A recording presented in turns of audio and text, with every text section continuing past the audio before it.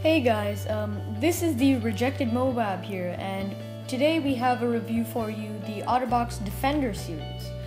Um, today we have the OtterBox Defender series for the iPod Touch 4th generation, and we'll just be going around some specs, just um, the feel, the protection, and um, some competitors. And we'll also be showing you how to put it on. Just how to put it on. And um, Okay, so some things about it is it is very protective. It is extremely protective, actually. Protective, actually. You could see some drop tests out there, but we're not just going to take that risk. Um, on the outer shell, as you can see, it's um, it's rubber.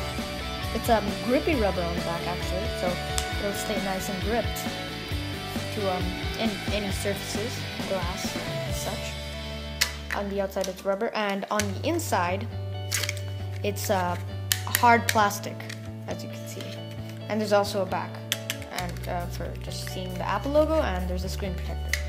What the rubber does it actually um, does it like it reduces the um, effect on the hit and then the hard plastic just takes away all of it. So it's it's a very protective case and it works very well. And um, some competitors are the Griffin Survivor.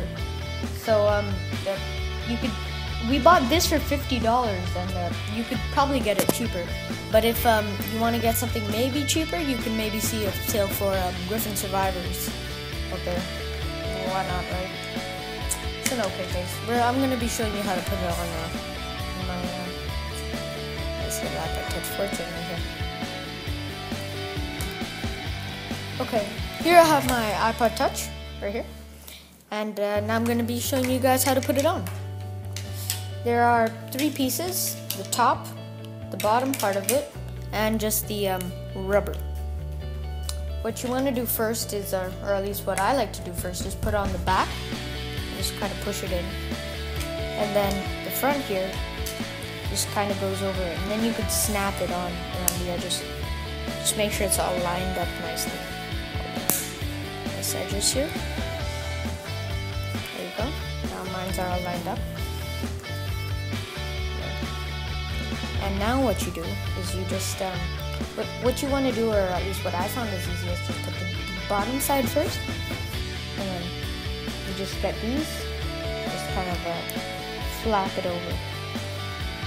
And one other thing I found, um, a complaint, what I have about it, is this part. It's it's like a thick rubber, and when I try putting it in, it always comes out a little bit. So I don't know if you're yeah, used to it, why not? But uh, there you go. It it shows everything. So um, this case also comes from other devices such as iPhone 5. Now it came out for iPod Touch 5.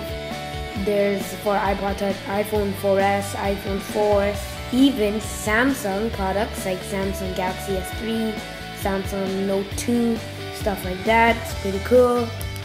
Um, yeah.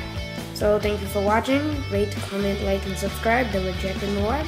See you later. Peace.